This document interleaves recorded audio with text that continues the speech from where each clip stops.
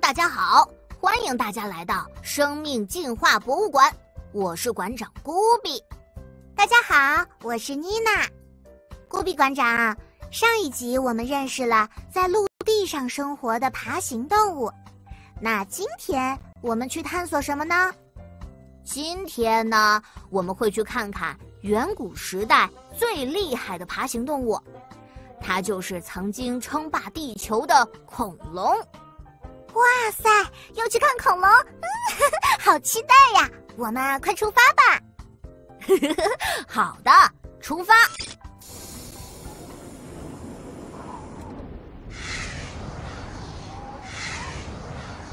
啊，妮娜，我们到了。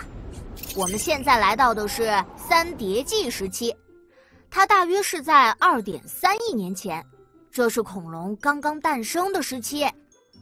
咦，这里跟我想象的不一样啊！我以为这里遍地都会是超级大恐龙，哦，怎么一个也没有啊？不要着急哦，这个时期啊，恐龙出现没多久，不是到处都有的。来，我带你去看看科学家目前已经发现的最原始的一种恐龙——始盗龙。看，就是它。啊，它那么小，怎么会是恐龙呢？啊，你可别看它小，它可以说是地球上出现的原始恐龙之一。古生物学家普遍认为，始盗龙是很多恐龙的祖先呢。成年的始盗龙体长大约只有一米，体重有十公斤左右，相当于两个大西瓜的重量。虽然它不是很大，但它凭借着锋利的牙齿、爪子。以及超级快的奔跑速度，成为了当时的杀手呢。哇，没想到小小的始盗龙这么厉害，真对它刮目相看。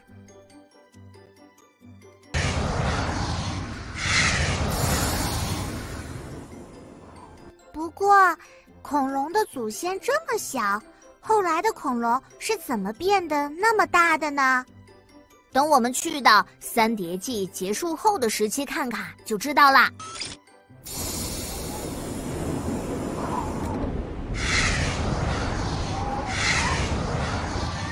当三叠纪结束后，侏罗纪到来了，地球上的大部分生命开始复苏，环境越来越好。在当时，地球上的气候温和湿润，非常适合生物的生长，于是。一些植物就越来越大，越来越茂盛。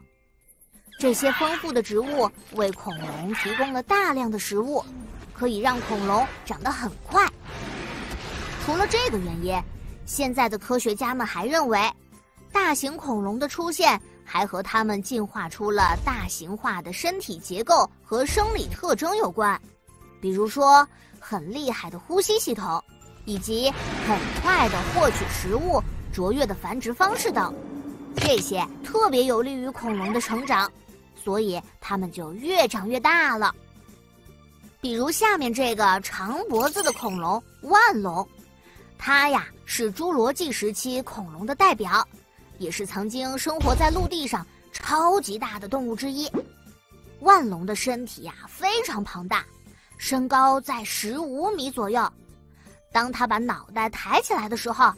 差不多能达到五层楼的高度，是那时候的巨无霸。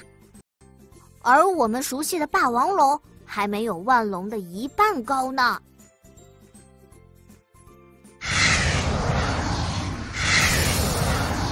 哇，恐龙从那么小进化到这么大，真是太厉害了。嗯，恐龙在当时可是地球上的霸主呢。那恐龙后来为什么不见了呢？科学家普遍认为，恐龙的消失和一颗来自太空的小行星有关。我们一起去看一下吧。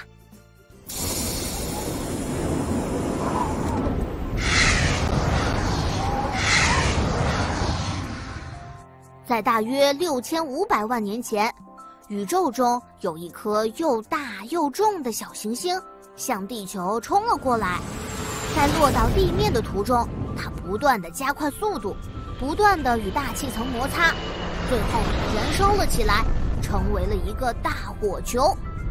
当这个大火球和地球相撞后，巨大的撞击引发了地震，火山爆发，火山喷出的火山灰弥漫在天空中，把地球包裹了起来。由于地球被火山灰包裹着，见不到太阳，地球的温度很快就下降了。在这期间，森林被毁坏，大地被破坏，很多动物因为没有吃的而饿死，庞大的恐龙也因为找不到食物而奄奄一息，最终从地球上消失了。啊，恐龙家族太可怜了。真想把这个大火球挡住，别砸到地球上。哎，是呀。好啦，我们快回去吧。